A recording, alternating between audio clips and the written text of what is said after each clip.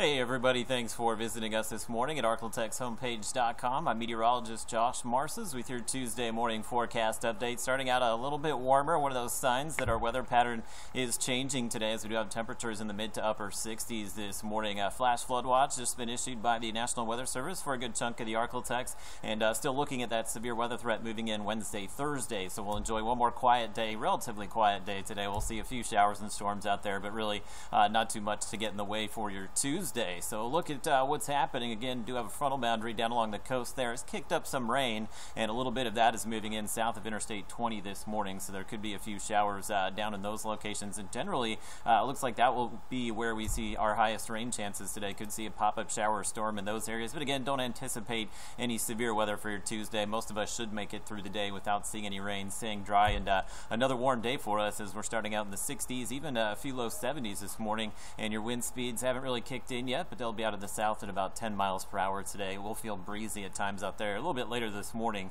and into the afternoon. There, your forecast highs pretty close to what we saw yesterday. As, uh, a lot of us will be into the mid 80s, uh, most of us into the mid 80s, 86 in Shreveport and 84 your forecast high in Texarkana. So again, the uh, desert southwest low here just kind of meandering across the uh, southwestern corner of the country, basically going to stay out there. And what it will do is just kind of kick up these disturbances each day that will bring rain chances into the Arkansas uh, beginning tomorrow. So we're still anticipating fairly potent severe weather setup for us uh, as we move through the day. Wednesday, see that enhanced risk has been uh, expanded to include basically the I-20 and I-30 corridors, and uh, we're looking at the potential here for some high wind as the main threat could be a few tornadoes here, uh, large hail as well, and then definitely flash flooding will be a concern for us as we go Wednesday into Thursday as we set up for our next round of heavy rainfall across the region. There's the severe weather outlook on Thursday. Thursday. This will be 7 a.m. and after. Again, we may have a, a, second line of storms that does pop up during the overnight hours that could bring mainly some high wind and hail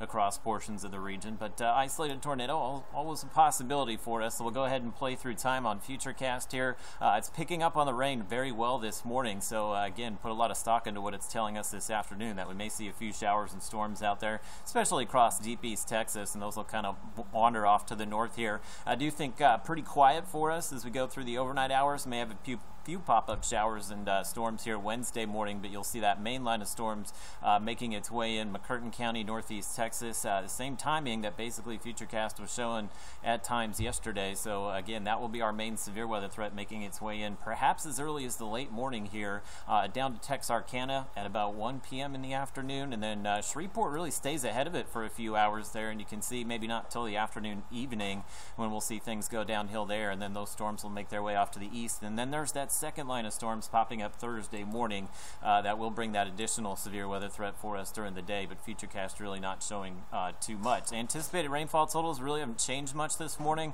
Uh, this look GFS model here showing us uh, a good four to six inches across the region. We could see some isolated spots, uh, even higher than that, perhaps up to eight inches or so, depending on where this heavy rain band set up over the next few days. So the Weather Service has issued a flash flood watch. I-20 and northward, again, some of the areas that did receive the heavy rainfall and uh, probably may see this get expanded further to the south, just depending on how much rain we see down here on Wednesday. So uh, again, uh, not only the rivers and lakes going to be running high and uh, cresting and flood stage for many of us, but we're also looking at uh, street, stream flooding, poor drainage area flooding as we go through the day Wednesday and into your Thursday as well. Seven day forecast, not pretty. As we get through Wednesday, Thursday, the rain continues Friday into Saturday. Good news is uh, it looks like the pattern does show some signs of letting up Sunday, Monday. Haven't completely taken the rain chances out yet, but uh, things looking encouraging for us. We will drop into the 70s Friday, Saturday behind the cold front that's bringing some of this rainfall with overnight lows generally staying in the 60s.